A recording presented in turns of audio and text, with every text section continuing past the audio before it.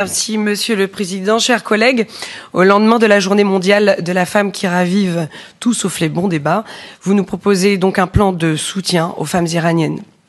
Dossier que nous saluons, mais emprunté d'un sentiment de mettre un pansement sur une jambe de bois, nos mains voteront ce rapport évidemment, mais nos cœurs resteront insatisfaits.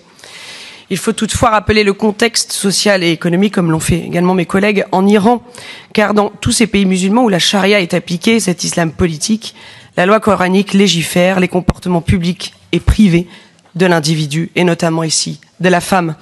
Nous connaissons tous ici ces situations, ces comportements qui ont été répétés, euh, qui sont réprimés et interdits, la liberté d'expression, d'association, de réunion, les partis politiques, indépendants, les syndicats, euh, on brouille les chaînes de télévision par satellite et on brouille également les réseaux sociaux.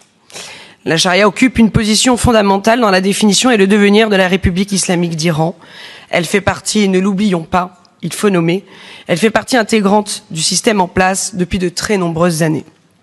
Aussi, vous l'avez rappelé, les Iraniens, les femmes iraniennes aspirent à des valeurs universelles telles que la paix, le bonheur et la liberté d'aller, venir, de se vêtir, bref, de vivre. Ce n'est pas simplement le seul cas des femmes en Iran, mais bien de toutes ces femmes qui vivent persécutées en pays musulmans où l'islam politique fait des ravages, y compris sur le territoire français.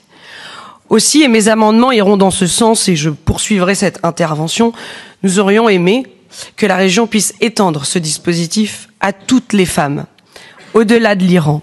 Et comme l'a rappelé, je me permets de citer la présidente de l'Assemblée nationale, Madame Yael Brun-Pivet, hier, en pointant, je cite, un contexte préoccupant dans plusieurs pays, autres que l'Iran. Aussi, nous voterons, comme je l'ai dit, ce rapport. Nous vous remercions et nous vous demandons de penser à toutes les autres femmes. Je vous remercie. Merci beaucoup, Madame Surplis.